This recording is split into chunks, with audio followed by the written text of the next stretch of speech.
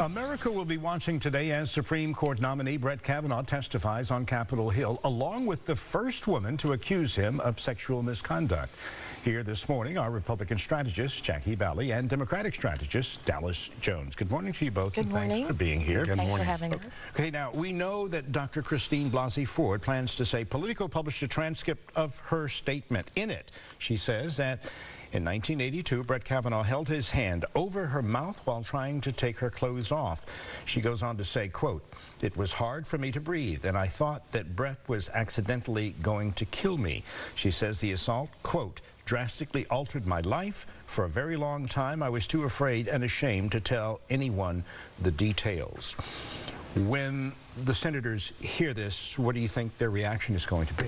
Well, I, I do want her to her story to be told because any woman who uh, is going through anything needs to be told. But I also feel that Judge Kavanaugh needs to go through a legal process, the due process, and uh, Democrats in particular have pretty much already said he's guilty.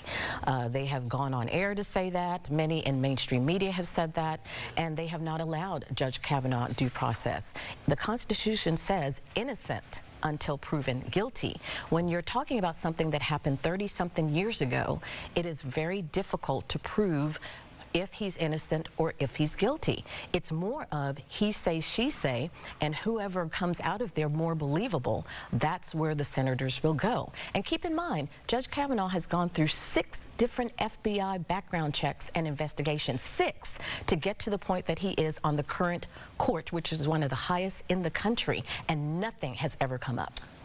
Okay, let's get past the politics. In 1991, when Anita Hill accused then Supreme Court nominee Clarence Thomas of wrongdoing and sexual misconduct, there was an, a, an investigation by the FBI. Three women, three women have come out and accused Brett Kavanaugh of, of, of sexually assaulting them. This is not 1991. This is 2018. And in this time, the Me Too movement is real, and that is what is on trial today in, in, a, in a Senate where Republicans have chosen to set a vote vote for tomorrow morning before even having the decency to listen to this woman speak out.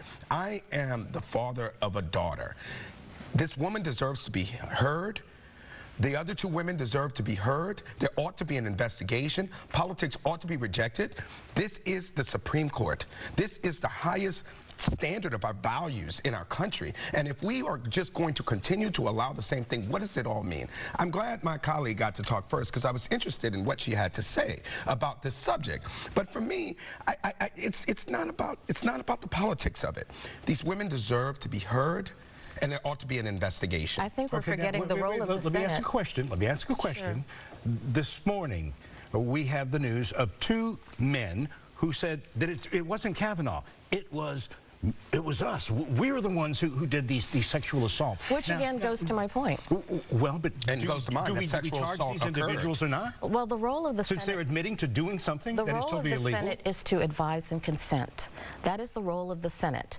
Different investigations that could occur if a crime has occurred has to happen with the FBI. Hence why I brought up the FBI has already looked at Kavanaugh six different times prior to this. Prior this to not, this. This is not the role of the prior Senate. the role of the Senate is to advise and consent on his capabilities as a judge, and, and, which has been proven in the last and 36 Jackie, they years. Advised and, and as a mother of, of sons, I do want due process because I don't want women thinking you can just say someone did something and then not have due process follow through. And all I'm going to say is in 1991, the Senate did their job of advising and consenting with the FBI investigating the allegations of Anita Hill when a black man was nominated for the Supreme Court. And I think while we have three women, not one, that there ought to be an FBI investigation into their allegations. Now, if there are men that came out and said it wasn't him, it was us, the point is it still ties it all together and sexual misconduct occurred and it ought to be investigated. We're going to have to leave it right there and we will see whether the investigation does pop up. But today,